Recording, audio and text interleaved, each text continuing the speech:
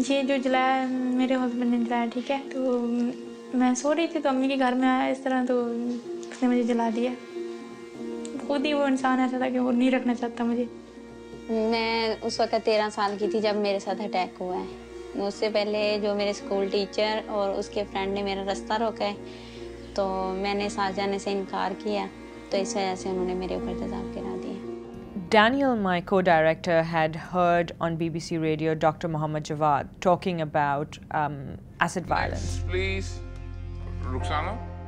So he contacted me and told me about the story, and I thought that um, I'd heard about acid violence, but never really looked into it. And, and as I started looking into it, I realized that this something needed to be done.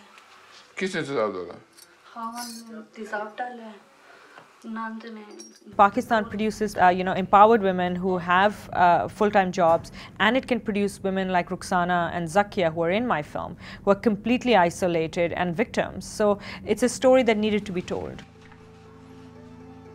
Dr. Mohammed Jawad travels to Pakistan from the UK several times a year and um, operates on these women. The film starts off with him coming to Pakistan to operate on Zakia, who wanted divorce from her husband. Could not get the divorce because her husband believed that it was a matter of honor. So when she went to court to do so, um, he said he'd make an example of her. And right outside the main courtroom, uh, he threw acid on her face. It was really difficult to get access to these women uh, because a lot of families would deny the, the fact that uh, there had been any acid violence. Uh, so we went uh, and contacted a number of nonprofits that were working on the ground, including Acid Survivors Foundation. We partnered with a, a man who works as a field worker. He opened up um, more cases for us and, and took us into the homes of some of these victims तो मासूम बच्चे तो इसने हमारा चेहरा क्यों खराब किया था हमारे क्या कसूर था As we follow the story of the two women, we realize that actually Pakistan is trying to deal with this problem. इसलिए हमने ये उसमें फैसला किया है कि उसकी कैद होनी चाहिए जिंदगी भर के लिए मैं कह रहा हूँ डेथ सेंटेंस जिनके ऊपर गुजरी है उनसे कोई नहीं पूछ रहा है And towards the end of the film, we find that uh, the bill has passed. Um, the women are now trying to move beyond uh, the fact that they have been victims.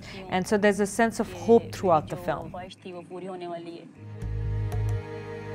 We will be showing uh, the film in Pakistan in colleges and schools and in communities as much as we can after its US release on HBO. The idea is to use this as an educational tool. So what we've built is an educational outreach program that accompanies this this this film. And we are developing a series of public service announcements on radio and television and partnering with Acid Survivors Foundation in Pakistan to spread the message, especially in communities where we find that um, men have this mindset that violence against women is okay. मैं सो रही थी तो अम्मी के घर में आया इस तरह तो उसने मुझे जला दिया तो उसने एक सेकंड नहीं लगाया एक सेकंड में मेरी जिंदगी बर्बाद कर दी in a country like Pakistan, uh, there are very few investigations that are truly ever done because it's hard for a foreign crew to come in for months on end um, to follow a story. When we investigate the problems, we realize why they're happening. And most often, uh, stories that come out of Pakistan just state the problem, but not why it's happening. And that, that why is what triggers me to tell these stories.